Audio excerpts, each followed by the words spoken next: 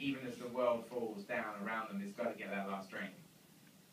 What about you, Nick? As far as Uh, well, I think, uh, you know, Andy is a bit of a tight ass, but he's he's been wronged, you know, and and he's completely in the right. You know, he's a 41, 40. Wow, is he? He is. He's a 40 something old man, and he's a, you know, he's a professional. He has a business, and it's why should he let him get away with it? You know, he's and no one else says anything. I think that's what infuriates Andy. It's like, why am I the only one on him all the time? You know, Edgar's one of Edgar's notes on set all the time was, "Get you got to be on him all the time. Anything he says, cut him down." You know, and it was it was great. It was great to be able to do that. You know. You know, he's, he's a gentle man, but he's he, he has he has beef. he has beef. You get me, blood. One last thing for me, and then I want to hear what you guys want to know.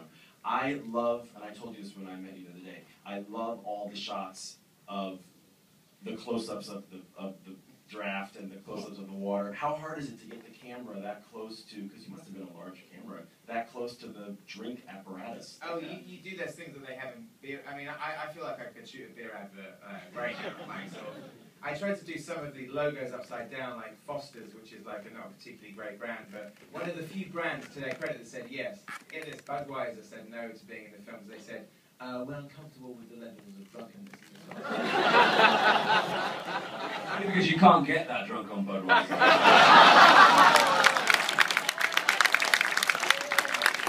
I had these like Foster's pumps. I was thinking, oh, how do I shoot that without shoot? I think I'll shoot the Foster's logo upside down. So it looks like an upside down crucifix or something. so I thought if I do these product placement shots, I kind of like switch them upside down. But they have these things uh, like these periscope lenses. It's like a sort of a, a lens that comes out and down so you can put it into a glass and stuff. So I could shoot. Listen, if there's any uh, ad reps there, I'll happily shoot a Budweiser campaign for the next Super Bowl. Uh, but yeah, no, it, it's it's interesting doing those things because you do have to make it's you know it was fun sort of trying to figure out how to do make a water pouring shot dynamic. Listen, I do see your agent in the in the theater. I'm sure you can have, you can have a conversation with him, make make something happen. Okay, I want to know what you all want to know. Question right here. Um, was the king's head like the model modeled after Simon? It is, Was yeah. the question is was the model of King's the King's Head modeled after Simon? And the pub that was is, was the King's Head is called the Arena Tavern in Letchworth in Hertfordshire in the UK. And they decided to change their name to the King's Head Tavern from the Arena Tavern and keep the sign, which is a picture of me. Which is like, it's one of the best things ever. Uh, two best things ever, that, and also tonight when we were doing, uh, during the scene when we're all showing each other's scars, when Nick uh, does the thing about we played the Aliens game, was reaching over to Bill Paxton going, huh? there he is,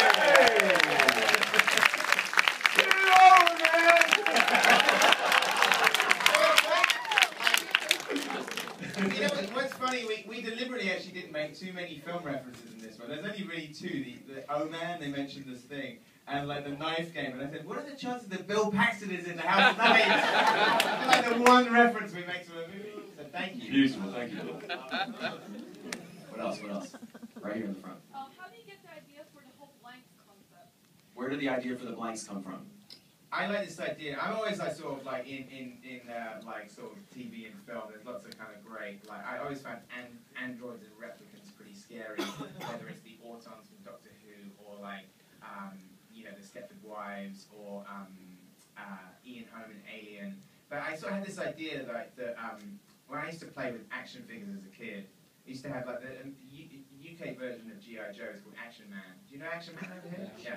But like you could easily twist the heads off and easily like pull the arms out. And so I don't know why, but I would always like sort of half destroy my toys, and then I had a lot of like a, a lot of like dismembered soldiers and stuff. So I always thought that was just an interesting image. I wanted, like we said about the kind of almost like the booze and like being around Gary is going to regress all the others to being children. So I wanted the kind of the blanks to feel like kind of they were fighting dolls, you know.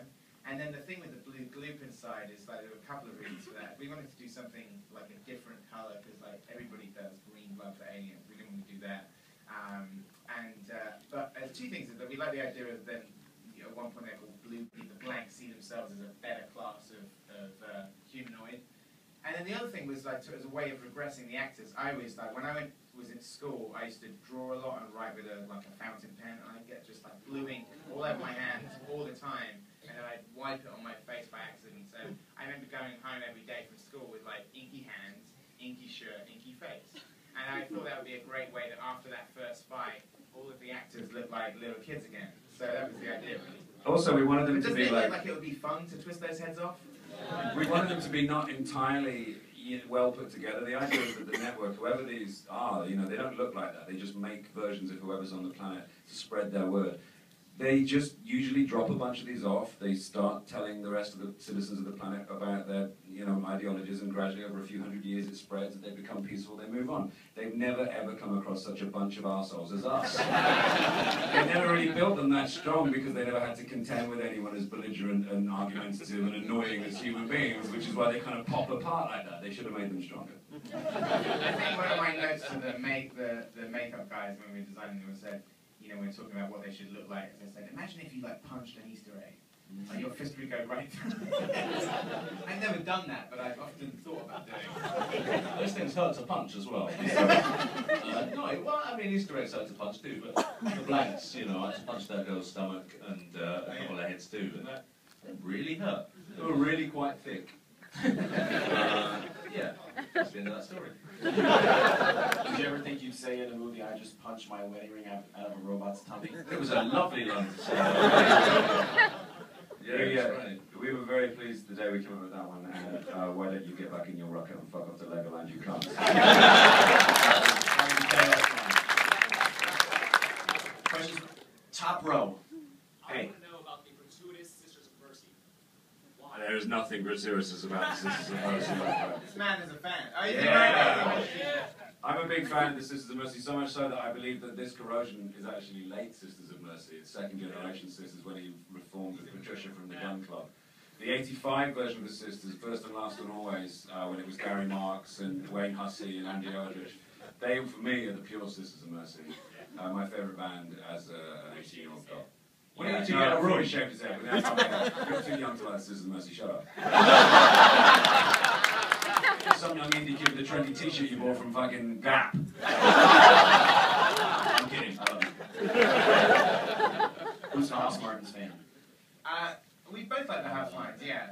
That was, I mean, it's one of those songs. We always like to do something, especially in Shaun and this one. Like after a really intense like scene, is find the most like joyously upbeat song you could possibly have. So Happy Hour by the Housemartins seemed like the best bet for that one. Okay. Yes. Yeah, I'm pointing at you. Yes, you just pointed at yourself. Was the plan from the very beginning to always have that really crazy ending? Like, was it always envisioned to wind up in this post-apocalyptic? Yeah, we, we wanted that idea. We didn't want to skimp out on the title, and we wanted to do something where it was the epilogue. We wanted to make it quite novelistic in a way that, like, you know, it is the epilogue, and like Simon narrates the prologue, and Nick uh, narrates the epilogue. And the idea that what it's leading up to is that, like, all the way through the film, it seems like Gary King is the only person who thinks back about that night and it being fun, and the others don't really care anymore. And then right at the very end, like, the, the Nick's character like admits that he misses him and he thinks about those days. There's really just having this kind of wraparound thing that it had to it had to go that bad. It had to go that bad. the world had to end for them to get to this point where they'd actually uh, Gary would apologize. to I think the thing, the thing that we, the, the idea that we had, we wanted, in the same way that we always had the idea of Ed in the shed with Shaun at the end of Shaun of the Dead, was that Gary should end up with his younger friends. Gary should end up with him and the younger versions of his friends. And we toyed with the idea of time travel. We thought maybe when the world ends, there's some sort of warp that happens, and they go through it, and Gary gets sucked back in time, and he goes back to the night in 1990, and you know, but it, it, which felt poetic, but it was too complicated. And time travel throws up a lot of problems with logic, which is how we, we how we came up with the idea for the blanks, really, and the fact that they can regenerate you at any age, and they can create whatever version of you that they like, and um, offer you like your young of you, your youth, you know, as if they start bargaining with people, if they start having to kind of, you know, debate with the human race or whatever. So that's how Gary, uh, we got Gary to end up with his young friends, was that he can play with his robot friends forever. right here with the red Oh, um, was like putting together the fight scenes and really kind of making these guys that are kind of you know? Like, how, how did you decide who's going to do what and, um, you know, like how, you know, he's super proficient at kicking ass, it's pub food we had this idea. We thought that there's a couple of things. Is like in terms of what within the film, we thought it'd be funny that that, that Dutch courage takes over. Like we thought that like we try sort of you know you see in the prologue that like the uh, Nick's character is like played rugby and is like a brawler, and so like he might not have had a fight for a long time, but he's quite, as the Brits would say, tasty. Um, and then like I, I think the others have like sort of like Dutch courage just takes over, and and what we liked within the fights is that it's that it's not that they're all doing martial arts. It's like this mix of like rugby moves and WrestleMania moves. and You might have spotted the people's elbow in there somewhere. There's a tombstone in there as well.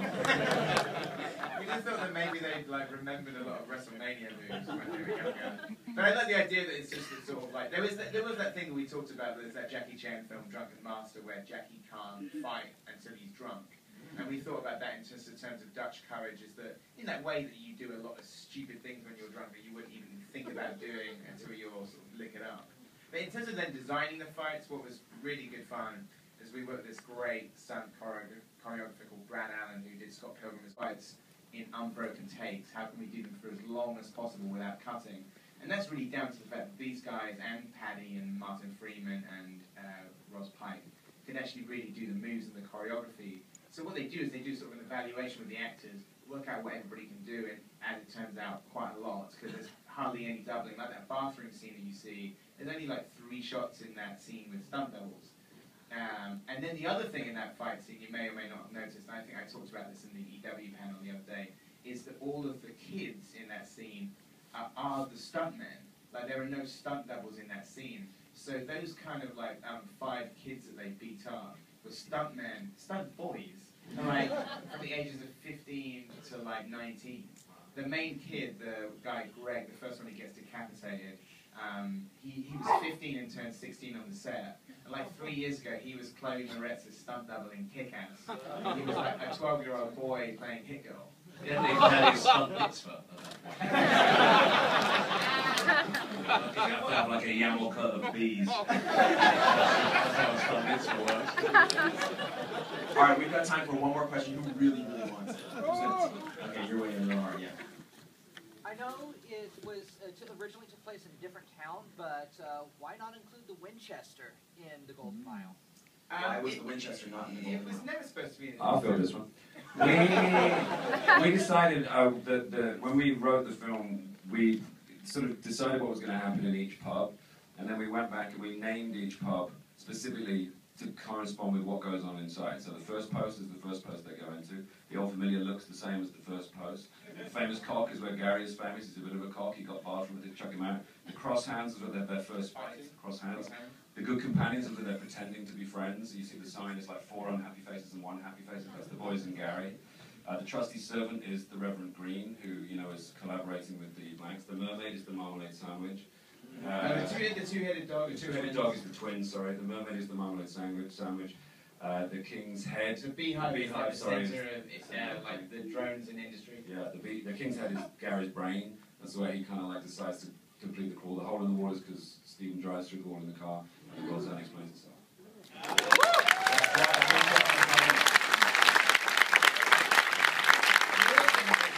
I'm going to say again, when you watch it again, then the whole of the prologue, it basically prefigures the entire movie, even to the point where, like, this is where Martin Freeman's going to come out, this is where Eddie Marsan's going to come out, this is how where they're going to end up. So we sort of tried to do a thing that the, the first three minutes of the movie basically tells you everything.